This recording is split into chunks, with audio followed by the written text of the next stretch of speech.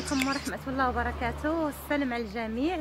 اليوم نهار جديد وكيف ما كتشوفوا الشميشة حارة ما شاء الله والدنيا زوينة والفصل ربيعي والدنيا خضراء والله يخليها ديما خضراء وربي يرفع علينا البلاء. يا ربي آمين.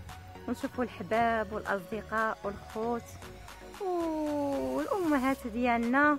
واللي عنده شي أم الله يحفظها ليه واللي ما عندوش الله يرحمها ويرحم جميع موتانا ويرحم الأب ديالي في هذا النهار. يا ربي آمين. أنا نزلت البنات الجرده بغيت ناخذ شوية القزبر والمعدنوس وغادي نشارك اليوم معاكم واحد الوصفة كتجي زوينة ديال الباذنجان. خليكم معايا حتى الأخير. ايوا حنا في الجريدة. جلبانة الفول. الفول فوق جلبانة. شو تبارك الله جلبانة؟ كيف عاملة؟ تبارك الله وصل عين بيعنا مزيناتها. كاين هذا القزبر هنايا. ولكن هذا عسلج ما بقاش فيه بزاف. مي أنا الصراحة غادا نلقط غير هادو هادو اللي في الجنيبات هنايا. شفتوا هادو اللي طالعين تيكونوا فتيين وزوينين. هادو خليناهم البنات الزريعة. هانتوما. نخليهم الزريعة باش نزرعوهم. مرة أخرى داكشي علاش كتشوفوا هنايا. يعني ما شاء الله القزبر فين فين واصل؟ كاين حتى المعدنوس حتى هو غادا ناخذ منه شي حاجة. هاد الوصفة ديال هاد الباذنجان. البنات كتجي زوينه وكتجي لذيذة. يعني عوض يعني تعملوه كيف ما كنقولوا زعلوك. يعني كديروها بطريقة زوينة وكيتكال بطريقة صحية. عندي هنا المعدنوس ولكن ما كاينش بكمية كثيرة. غادا نزيد غير شوية من القزبر وصافي. هذا ما كان. ها هو هنا المعدنوس.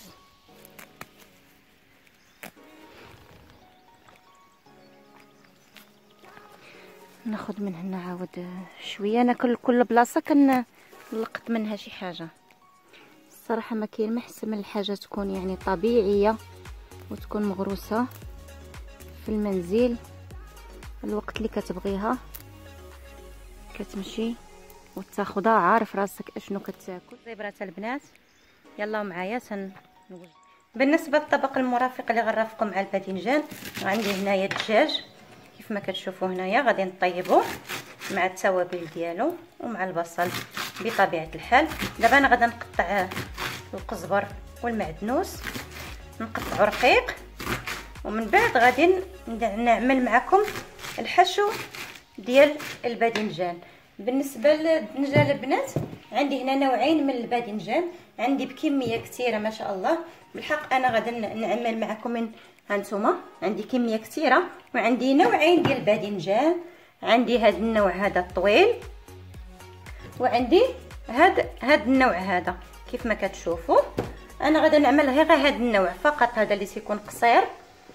والدنجة الآخر غادي نخليه إن شاء الله باش نعمل به نعملو باذنجان مخلل. الصراحه كنحتفظوا به مدة طويلة. نكمل البنات قطع ديال الربيع. وأنا معكم خليكم حتى تتمه الفيديو. من بعد ما قطعت القزبر والمعدنوس غادي نخلي القليل باش نضيفوه للدجاج والكمية المتبقية. غادي نضيفها هنا وغادي نضيف هنا عندي هنا الملح والفلفل الأسود.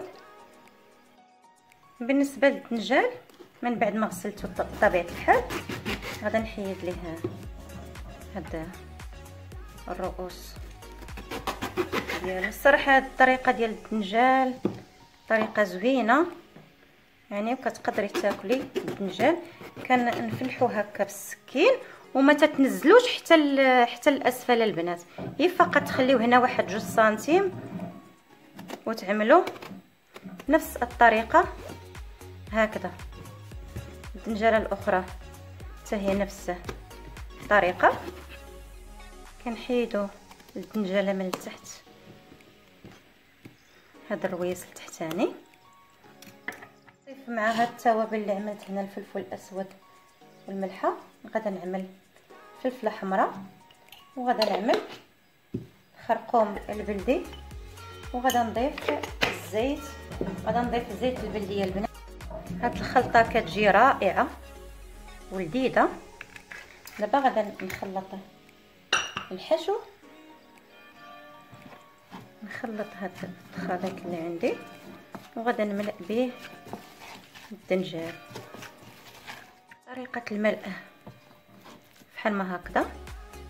كتفتحوا الدنجالة من الجهتين وتحاولوا تعمروها بالقزبر. بهذه الطريقة.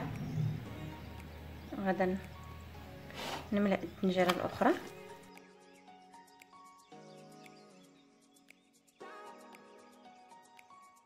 دابا غادا ناخذ واحد الكاسرونة. وغادا نوضع نحاول نخلي الدنجال هكا واقف باش ما ينزلش ليه الخلطة اللي ملأت بها الدنجال هي بهذه الطريقة فقط. من الاحسن يعني تاخذوا إناء بحال ما هكا يكون آه يعني مزاحم يعني تزاحموها باش ما يخرجش لكم الحشو وينزل لكم في القاع ديال الكاسرون غادي نرش واحد الرشة خفيفة على سطح الدنجال باش يطيب معايا الدنجال ويجي المذاق ديالو لذيذ.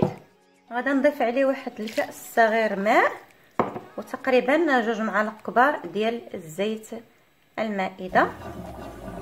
وغادا نغطي عليه بواحد الغطاء ونخليه يطيب بدون خروج البخار. حيت ملي غادي يبدا يطيب البنات غادي تعرفوا بأن راه غتشوفوا الدنجال راه نزل ما بقاش هكا بهذا العلو. دابا غادي نحضر معكم البنات الدجاج. كديروا الزيت الكافي اللي غادي يطيب لكم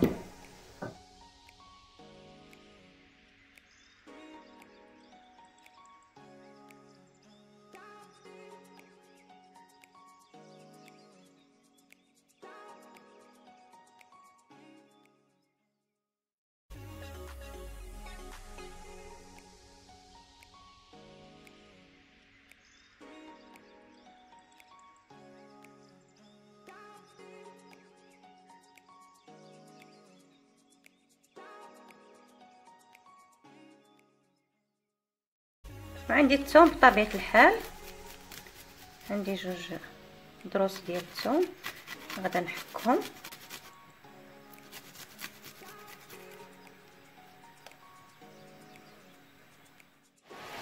هاد الدجاج البنات كيطيب غنخليه حتى بدون إضافة ماء.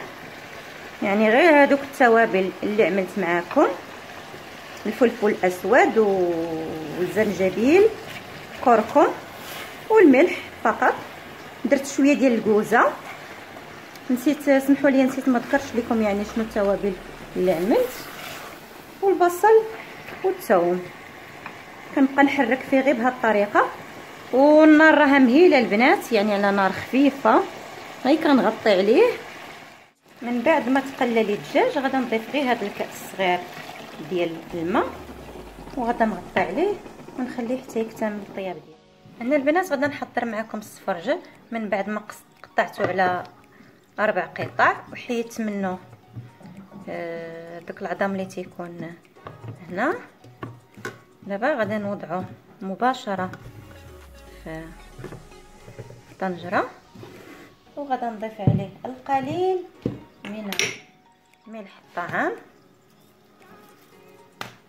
وغادا نضيف عليه شوية القرفة. غادا نعسلوه البنات. مباشرة يعني ما كنسلقوش مباشرة كيطيب بالسليق بالتعسل دقة وحدة البنات. بالنسبة للسكر غادا نضيف نتوما كتعرفوا يعني السفرجل تيكون محمض. غادا ندير تقريبا جوج معالق كبار ديال السكر. وبالنسبة للماء غادا ندير تقريبا نصف كأس ماء فقط. غادا نغطي عليه ونخليه يطيب. هانتوما هنا كيف ما كتشوفوا الدجاج ها هو كيطيب ما شاء الله. طالع من واحد الرائحة رائعة. هنا درت واحد الحراق. وهذا البنات السفرجل اللي قلت لكم يعني الطريقة كيفاش غادا الدنجال كيف ما كتشوفوا هو بدا كيدخل لي الطياب ديالو. أنا ضفت ليه واحد الكاس آخر ديال الماء. وخليته كيطيب على نار مهيلة. من بعد ما طاب معايا الدجاج غادي نضيف شوية الزبيب. نتوما عارفين أن البصلة كتواتى مع الزبيب باكيد بطبيعه الحال من بعد ما آه، غسلته. نسيت ما ضفت واحد الإضافة البنات لا وهي القرفة اللي غادا نضيفها في الأخير. كان عليا نضيفها في الأول مي معليش. آه غادي نخليكم دابا حتى تتمة الفيديو إن شاء الله. مني غادي يوجد معايا الطابق هنا ضفت واحد الإضافة وهي الخرقوم بلدي يعني الكركم وغادي نخلي السفرجل يكتمل الطياب ديالو السفرجل من بعد ما تحسل الصراحه جا زوين كيف ما كتشوفوا محمر من الجهتين وغادي نزين به الطبق ديال الدجاج. الطبق ها هو واجد معنا كنتمنى يعجبكم الفيديو وتعملوا اشتراك اللي مازال ما مشتركش في القناة بتفعيل الجرس. حتى يصلكم كل جديد. ولي لايك والبارطاج مع العائلة والحباب والأصدقاء ونخليكم مع النتيجة النهائية ديال الطبق اليوم. هو هذا البنات دجاج بالزبيب والبصل الصراحه جا رائع. ولذيذ ما نقولش لكم على المذاق ديالو. وحضرت هنا الباذنجان بهذه الطريقة. كنتمنى تعجبكم البنات وتعملوها. وبسلامه عليكم حتى نتلاقاو إن شاء الله في وصفة جديدة من الوصفات الخالية من الجلوتين والسلام عليكم ورحمة الله وبركاته.